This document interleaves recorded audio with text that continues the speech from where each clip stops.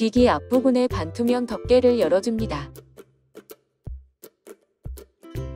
천공 핸들을 내린 상태에서 천공핀의 고정 볼트를 동봉된 육각 렌치로 풀어준 후 천공핀을 빼줍니다.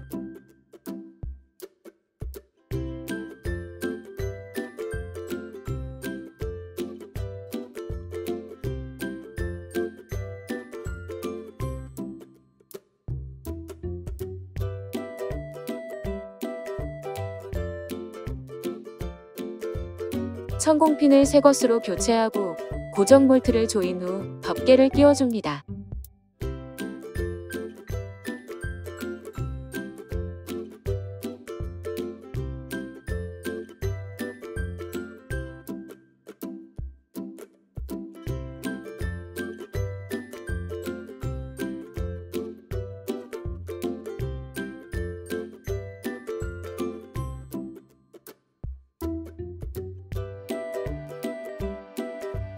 디스크와 제품 바닥면 사이에 일자 드라이버를 끼워준 후 살짝 들어 올리면 디스크가 분리됩니다.